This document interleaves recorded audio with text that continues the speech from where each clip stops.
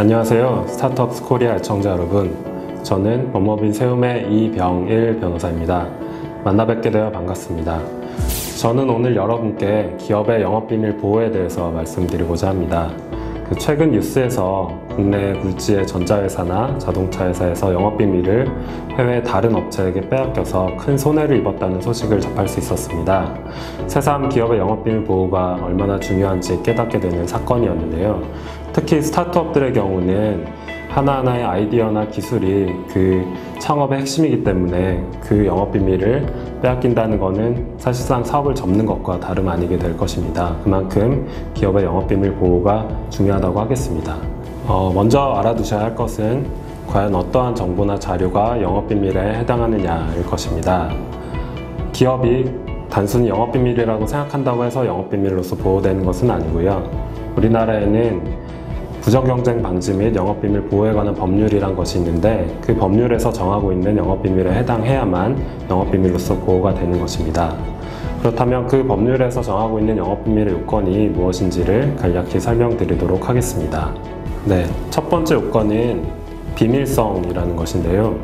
나 아닌 다른 사람이 그 정보나 자료에 대해서 알고 있지 못해야 한다는 것입니다.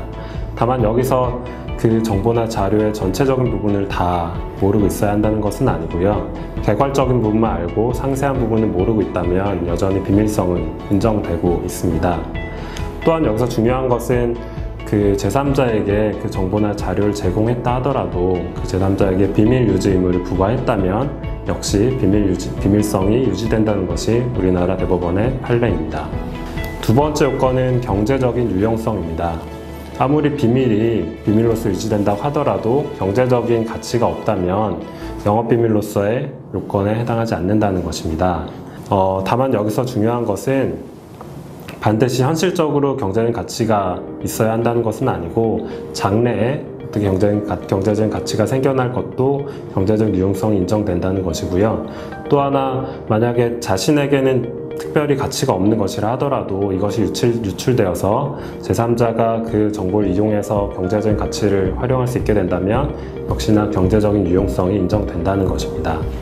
세 번째 요건은 비밀 관리성입니다. 기업이 그 정보나 자료를 비밀로서 상당한 노력을 들여서 관리하고 있어야 한다는 것인데요. 이 부분이 기업들에게 있어서 조금은 어렵게 다가올 수 있을 것입니다. 어, 그러나 이 법의 취지는 비밀로서 관리도 하지 않는 정보나 자료를 법이 스스로 보호해주지 않는다는 것이기 때문에 기업들 입장에서는 비밀로서 보호해야 하는 정보나 자료를 반드시 상당한 노력을 기울여서 유지하고 관리하며 제3자가 접근할 수 없도록 해야 한다는 것입니다.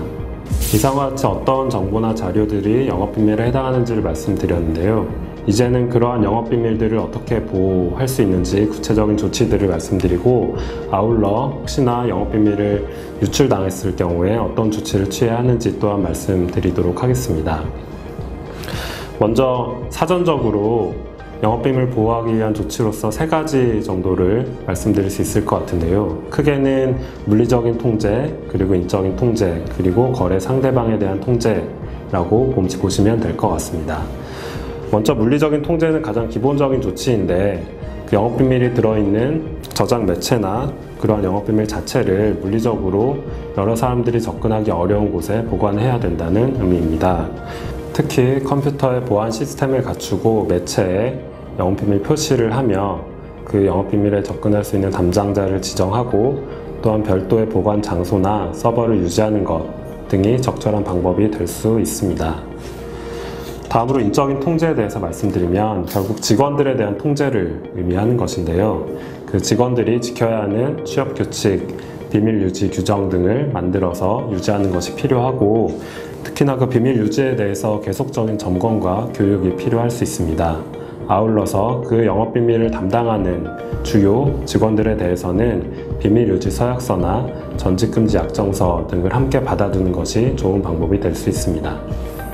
마지막으로 계약 상대방에 대한 통제는 약간 어려운 문제가 될 수도 있는데 결국에 계약하는 상대방들이 우리 회사의 영업 비밀을 가지게 될 수 있기 때문에 그 계약을 함에 있어서 비밀 유지 서약서를 반드시 받아두거나 또는 계약 내용에 비밀 유지에 관한 약정을 넣어둘 필요가 있는 것입니다. 다음으로 영업비밀이 침해되거나 유출되었을 경우 어떠한 조치를 취할 수 있는지에 대해서 설명드리겠습니다.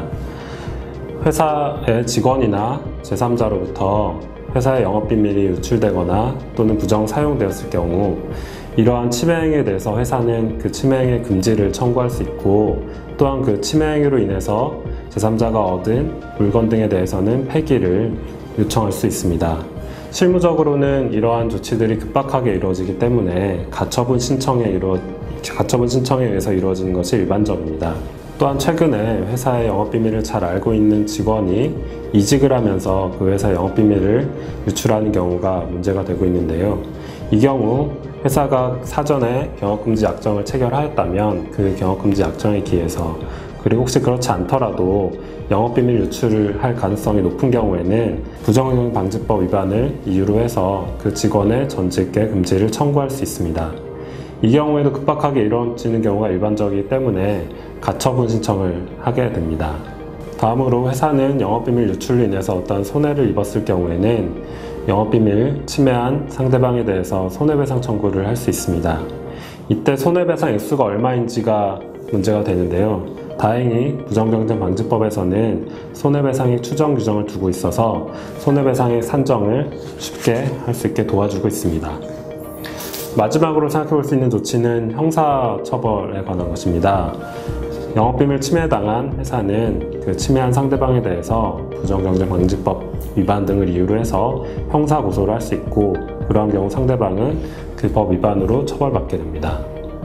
이상으로 영업비밀이 무엇인지, 영업비밀이 침해되었을 경우에 어떠한 조치를 취할 수 있을지에 대해서 설명드렸습니다. 앞으로 회사 운영하시는데 큰 도움이 되셨으면 하는 바람이고요. 다음에 또 뵙겠습니다. 감사합니다.